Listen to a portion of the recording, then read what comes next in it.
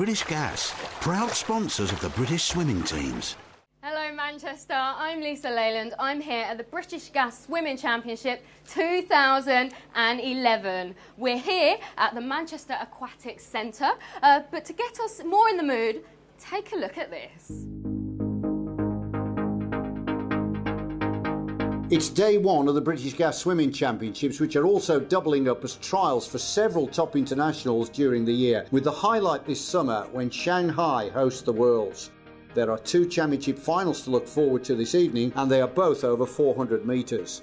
The women's clash brings together an extremely talented lineup headed by double Olympic champion Becky Adlington, Olympic bronze medalist Jo Jackson, the World Open water champion Keri-anne Payne, European 400 metre IM champion Hannah Miley, and double Commonwealth medalist Jasmine Carlin. What a juicy encounter this promises to be.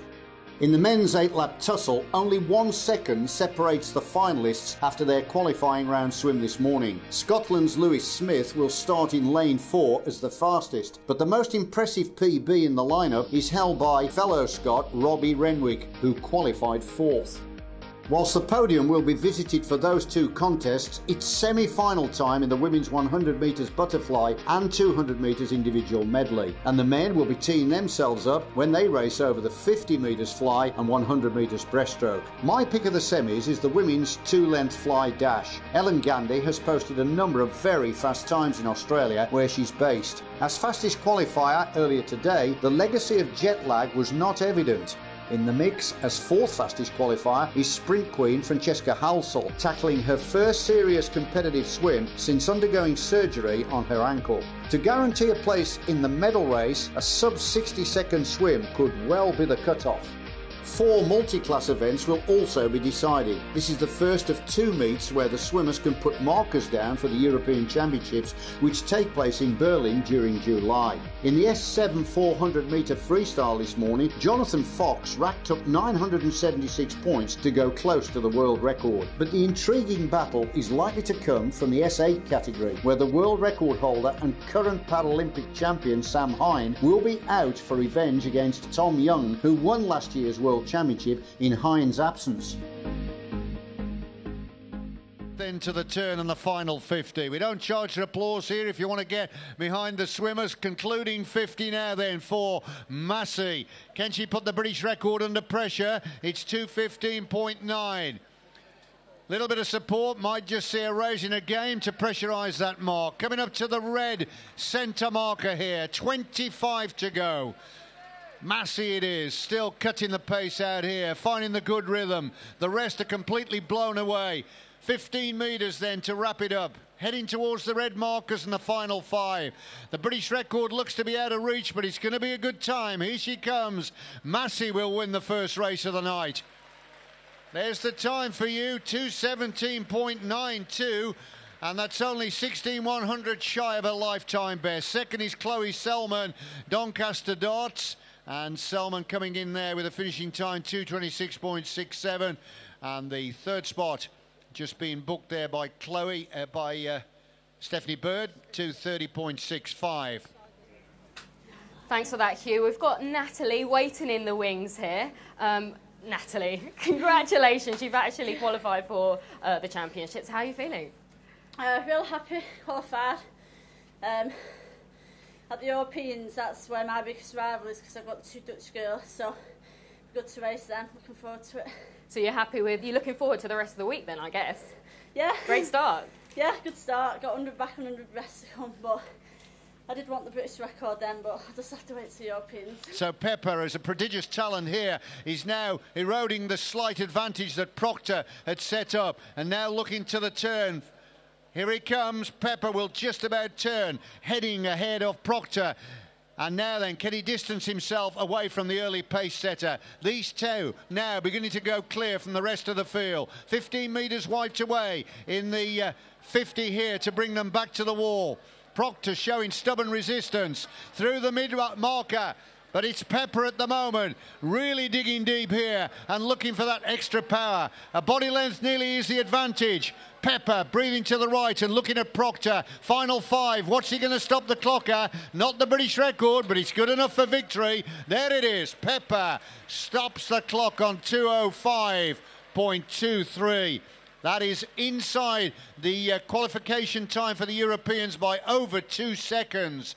So we can uh, join Lisa now, I think has got the winner, Daniel Pepper, with her. Absolutely. Thanks for that, Hugh. I do have Dan here. Dan, make your way in here. Um, you qualified for Beijing. Great start. Uh, for Beijing, Berlin. Berlin. There you go. Yeah, uh, yeah. Qualified for Berlin there. So obviously just really pleased and you know just hoping to progress onto there now. And what was going through your mind throughout that race? Um, I got a admit, a turn at 15 and thought, oh, that's harder than it should have been. But then obviously I just had Ben next to me, so we just Yeah. kind of paced off each other and you know finished hard. It was pretty close, wasn't it? Uh, yeah, yeah, it was pretty close by the end.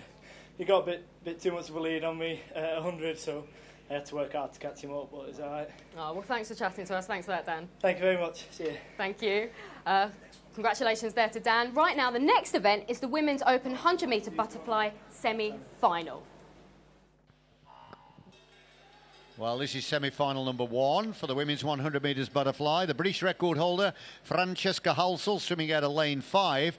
This is her first serious competitive swim since uh, she underwent surgery for her ankle. But it was uh, Rachel Kelly who went well as well in uh, lane three, the 17-year-old from Royal Wolverhampton School. And, of course, Gemma Lowe in lane four from Swansea Performance. Split time, let's take a look at that. 27.66. British record is still safe, but uh, down in the middle of the pool now, it's Halsall going strongly in lane five, under pressure from Gemma Lowe up there in lane four. And it's Lowe then at the moment with the advantage. Looking for the wall here and the touch. Remember, we're looking for the eight finalists then for tomorrow. It's the eight quickest that'll make it through. Lowe gets it on the touch. 59.19. Rachel Kelly, this youngster who's studying at the Royal Wolverhampton School, coming in second on 59.91. And third, Francesca Halsall, the British record holder, 60.12. Miss, But it's Sylvester at the moment that's looking pretty good. And also uh, looking strong in lane six is Jessica Dickons of Edinburgh University. These are the three at the moment that are come on in the lead. But now it's Gandy that suntan figure of Gandy that uh, based down there in Melbourne, just back from a training camp up there on the Sunshine Coast. And she's literally flying down the pool. Here she comes. She got a personal best of 57.49. Let's have a look at the clock. Good time by Gandy, 58.33. Well, Gandy is the fastest of the qualifiers, and uh, I think she's certainly underlined that sensational preparation she's having down under there in Australia. Rest of the times you can see, second quickest is Sylvester from Nova Centurion. There's a time on 59.69. And third, Tilly Gray coming in on 60.73. But uh, Gandy, very quick indeed, much faster than the rest of the opposition. Just uh, 25 metres to go in the penultimate 50. It's going to be a phenomenal concluding wire 50 this. Looking for the wall. The strokes are starting to uh, increase now as they come to the turn. 50 metres remaining.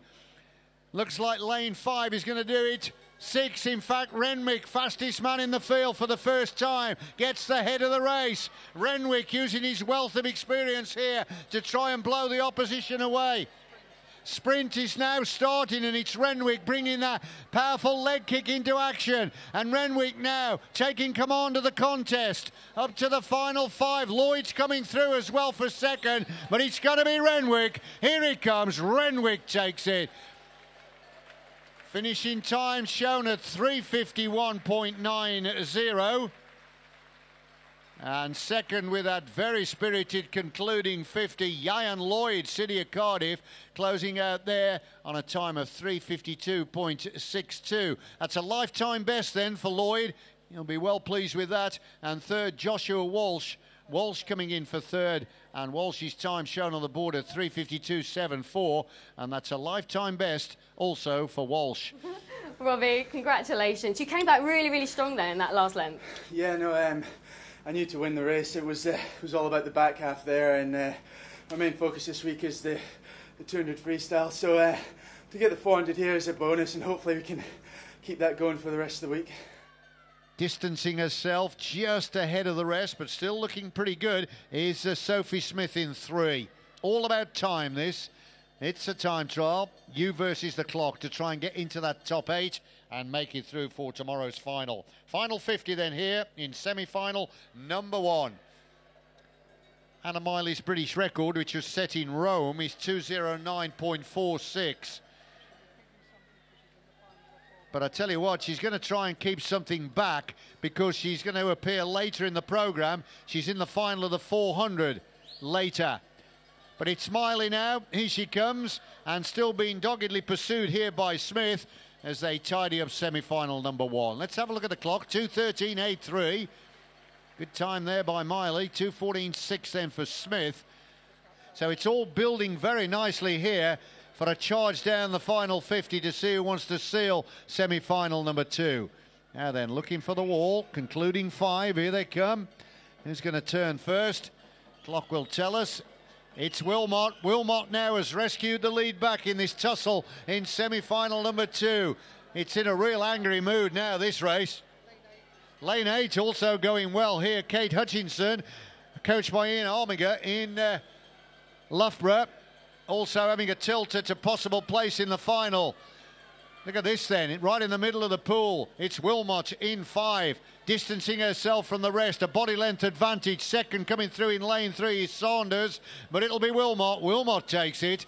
215.15 for Willmott, just shy of her personal best. Good swimming there. Second, Emma Saunders in 216.14. Personal best time for Saunders. Now, as this is a, a, a non-Olympic event, there is no qualification time. But uh, if they enter somebody into this, then of course they will enter them from the team.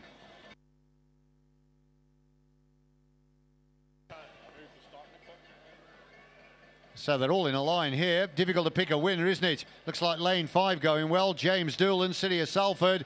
Yep, Doolan takes it 24.45. So good time there by Doolan, just shy of his lifetime best. Second to touch the wall was Jeffrey Short, Bishop's Stortford, 24.86. And third, Harry Needs. Now, whilst Jack Marriott in lane four is the quickest qualifier, keep an eye out for Anthony James in lane six. The Plymouth Leander swimmer came away from New Delhi in the Commonwealth Games with two medals. Midway point, the whole field in the shake-up here. But he's looking like lane six, Anthony James, the man I earmarked, going pretty strongly down the pool here. Also in the middle, looking good in lane four, is Marriott on the touch. Let's have a look at it. It's James. James takes it then for Plymouth Leander, and James's time 24.44. Carlin going well as well here, easing herself up into the silver medal position. Final 50, you're looking at the double Olympic champion, and it is Becky Adlington coming up to the red marker, 25 to go. Let's hear it then for Adlington. Behind the contest for silver, he's being won at the moment by Jasmine Carlin, who's really finding extra power in the closing stages. And the bronze at the moment looking to be going to Keri-anne Payne. But here comes Adlington. Adlington touches now. What a time! 4.02.84. That is some time then by Becky Adlington, who wins the 400 metre freestyle. Let me tell you, ladies and gentlemen, that time of 402.84 is the third best ever on the British all-time comers list. So Adlington just showing the kind of class she's got. Right, right, I've got Becky here. Another world-class swim. What are your thoughts on that? I was so pleased with that swim. It was such a difficult race. Just been ill this week and just had a few niggles, but I just wanted to get in there and just do my best and yeah. just try and get involved in the race as much as I can and to do that time it's just unbelievable. That's kind of what I did in Beijing, and to get back down to that is unbelievable, especially in now textile suits. It's just so nice. Semi-final number one gets underway here then for the men's 100 metre breaststroke. Chris Gilchrist swimming in lane four is the Scottish record holder, but he was upstaged in New Delhi actually by Michael Jamieson. J- Jamieson uh, got the better there of the Scottish record holder, Gilchrist when he was fourth in the 100. And Jamieson, of course, came away from New Delhi with a silver in the greater distance over 200. And at the moment, it's Jamieson that's uh, leading Gilchrist by 15 one hundredths of a second as they now make their way back down this second uh, 50. Top eight, remember, you know the drill by now. It's the top eight times that will go into the final. And it's the brace of Scots here that are cutting the pace out. Jamieson in five, Gilchrist in four, lane one coming through with a late rush as well. Doug Scott, let's have a look at it on the board. Jamieson hangs on to that lead. Uh, Daniel Sliwinski in lane seven from Preston's the only man in the field to have gone inside the one minute barrier for this event. But that, of course, was when the suits were in. In the Commonwealth Games in New Delhi, he came away with a bronze medal in the 50 and the 100.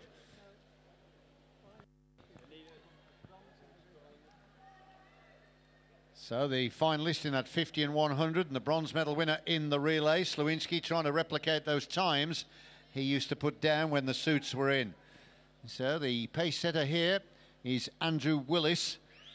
Willis in lane five of Bracknell, turning there on 29.19.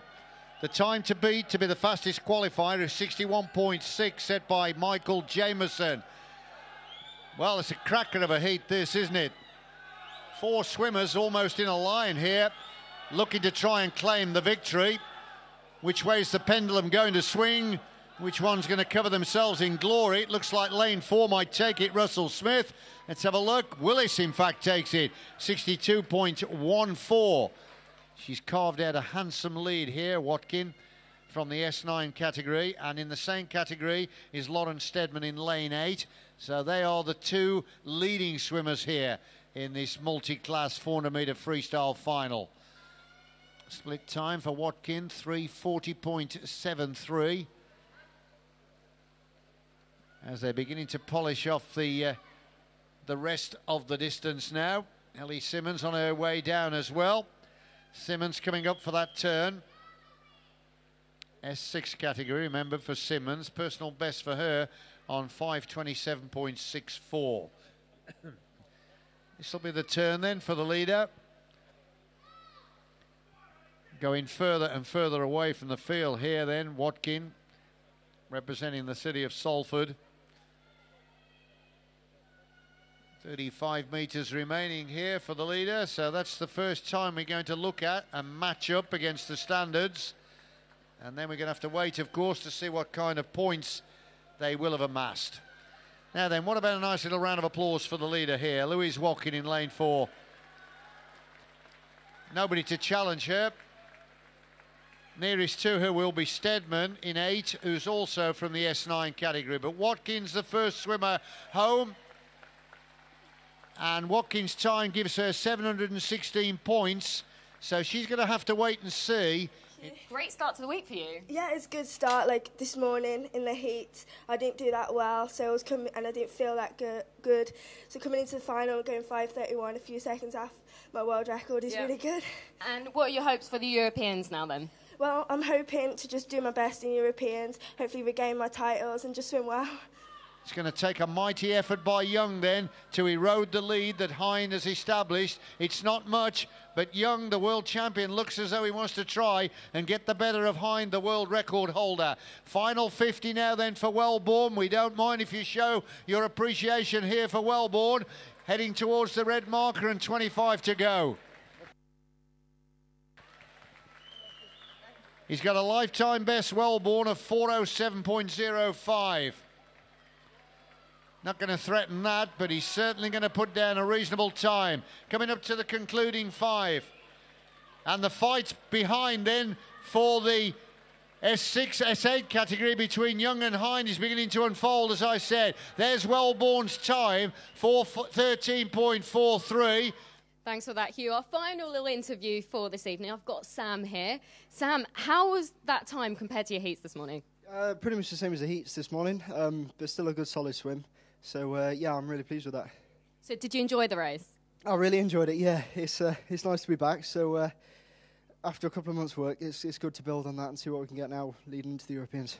And in terms of the crowd, they've been great here in Manchester, haven't they? They have, yeah, it, they've been fantastic. They've been really supportive. So just want to say a big thank you to everyone. British Gas, proud sponsors of the British swimming teams.